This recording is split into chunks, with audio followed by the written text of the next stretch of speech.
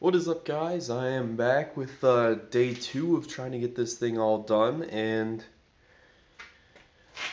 I got a lot of update videos on how to, on where I am right now. So right now I'm going out to Lowe's to get the drill bits for the spot welds, and uh, I'll be back, and I'm gonna tear that straight off, throw in that one and then I'm gonna bolt it in with a bunch of little 10 mil screws. So I, uh, in the future, when I do something pretty crazy with this, that uh, it'll be really nice to take off. It should be fine though, just a bunch of 10 mil screws with thread locker. It'll make it a little bit harder because I can't just like put the new piece and just weld the seam, but eh, we'll get there. All right, time to get the Lowe's. All right, so I got basically the front impact bar off. I got it right here. You can see it just like that. So I got the whole thing removed. The only issue here is the actual spot welds I didn't remove. I just wanted to get the big chunk out of the way just to start. So I keep saying impact. I meant radiator support. Alright, so we got this spot weld tab. I took that I, I wanted to see if I can take that one off with a different method and I did. I just need to grind it down and then it'll be perfect. And then these ones, I, I wanna I wanna figure out my new strategy again with those. And I got this plate down here, and then just on the inside right there.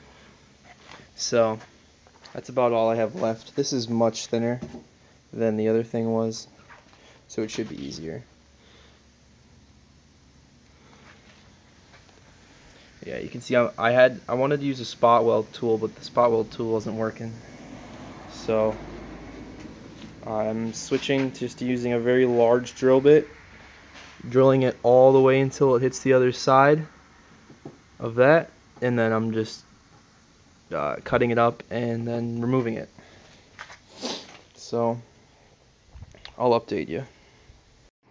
All right, so we got the all the spot welds grinded off, and that was actually really hard because I could not find a spot welding drill drill bit tool. So I actually ended up using my angle grinder to use a flat disc to basically make a tic tac toe pattern. You can kind of see it here because this I was still learning on here. I, I went pretty deep, but I'll fill that with paint. So I went pretty deep over there a little too. But what I ended up doing is basically cutting a tic tac toe pattern with the spot weld in the middle and then just uh, using a hammer and a basically flathead as a chisel chiseling everything off and then being able to grind down the actual leftover spot weld. So I think it turned out pretty well. We got nothing.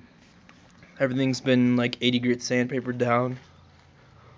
Nothing there it's, it's a little rough, but I'm gonna get some uh, some primer and paint on it. I'm gonna clean everything up. I think it'll be great. Roll Tide. Roll, Roll tide. Tide. All right, so I finally got most of the car done. I haven't been doing many update videos just because I wanted to devote all my attention to the car, and filming was making it kind of difficult. So you can see right here, I got the new crash bar on. It needs to be repainted, but I will do that bit. There's only some primer on here. I have, uh, I just, these are on just temporarily because I needed to uh, tap the holes and put those in because none of the holes are tapped as you can see. I got this thing test fit up. I just need another nut for down there. Uh, yeah, you can see I got some pictures I'll throw in right now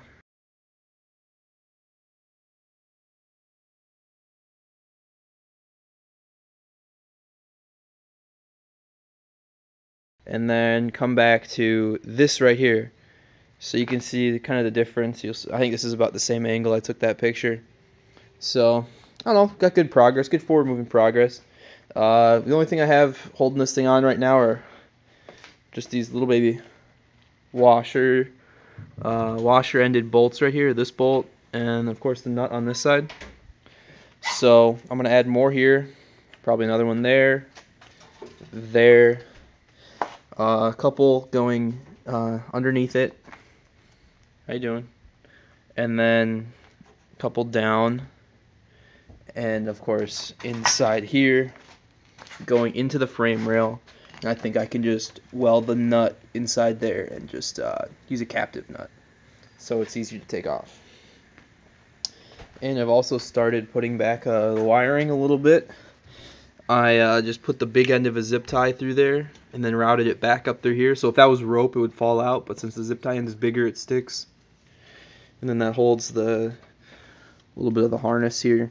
That's supposed to be used. You can actually see damage from the accident that's on the, the wiring, but uh, it's not frayed, so it lives another day. I gotta retap the uh, impact uh, sensor holes. Got to do that as well. As long uh, as well as uh, take these off, repaint everything. So yeah, I'm gonna repaint everything nice glossy color. So I will update you guys on that.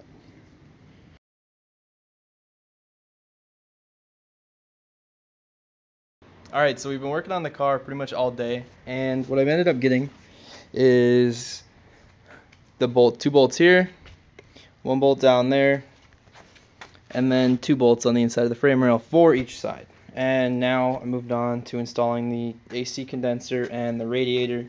Both of those are going to drop back in behind here, and I'm interested to see if they fit with the bolt right there and the bolt right there, but they should. So that's an update.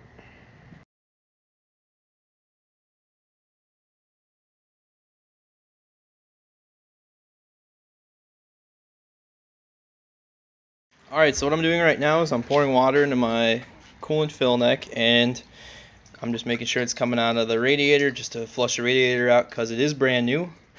I'll pour more water in right here.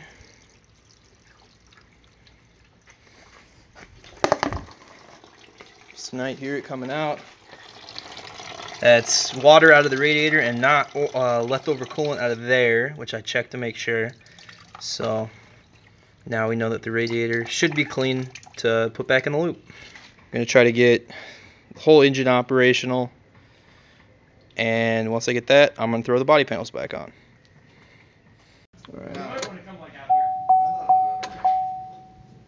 Trunk open. Yep, I know that. Ready?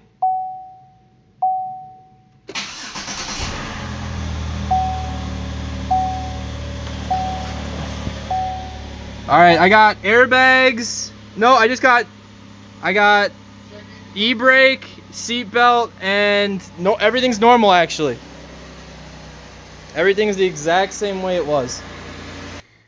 All right, so it's the third day of working on the car, and I got pretty far today. I got engine started and fenders and hood on. So those are the two main ones I wanted to get done.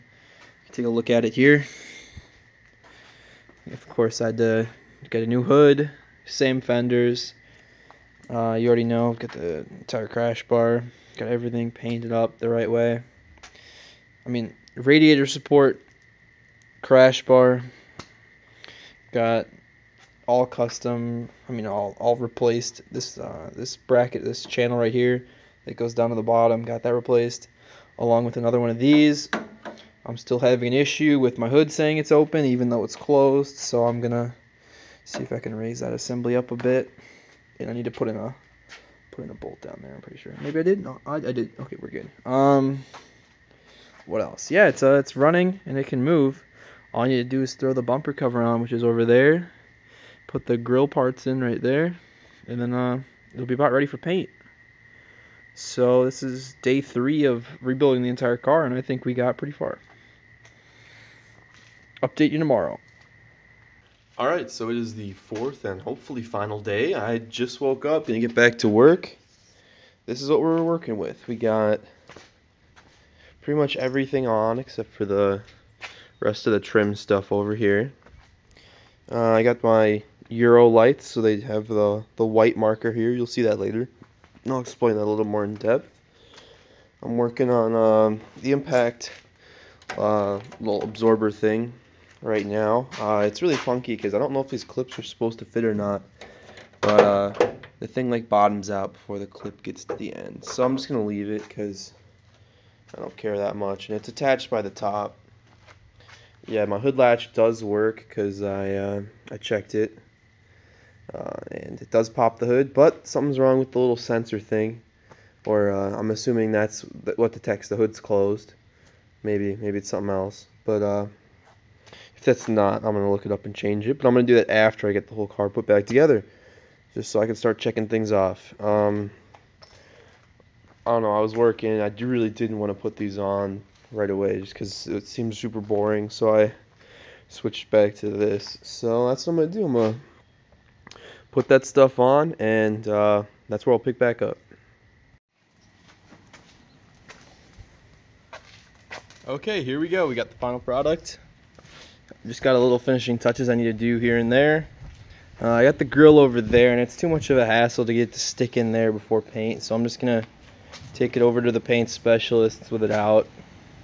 So now I got basically everything in. I just need to do a couple little things here and there, like uh, just a couple of the plastic little inserts in there.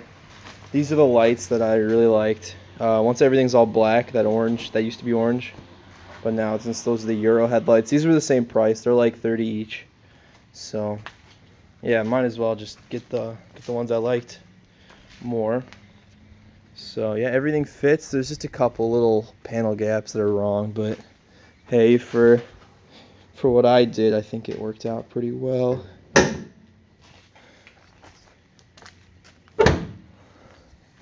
Yeah, so if we check it out, yeah, the panel gaps here, which which I actually improved because I didn't like the way these were mounted because they had like a like a nut and a bolt that would tighten down. But look at the gap I got it to do with just two zip ties. Like you can't get more perfect than that right there. Like that's just the only reason there's a little bit of movement in here is because the what's it called? The wheel liners in there. So once I get everything else all buttoned up, I think it'll be uh, ready to head out. It looks hilarious with that uh, with that grill off. But yeah, I think we're going places. Uh, yeah, I was in the middle of that too. The other with, with the other side off, it looks actually really really good. Let's, let's see. Once everything's all black, I think that'll look nice. So I'm gonna, this is where I'm gonna wrap this video. I got basically the entire front end torn all the way off, all the way put back on, and then uh, then got some body panels on it. And is this job easy? For I don't know. It, I if if you know what you're doing, it's not that difficult. But you have to have the right tools. You have to be able to grind off the spot welds, and all you need is an angle grinder for that. If you uh, if you're willing to suffer for about a day, like a full day taking it off. So I don't know, if you're in a front end accident and you don't want to fully part out your car, here you go. It's about 1500 bucks in parts and I think it turned out well. So thanks for watching and I'll see you guys in another video.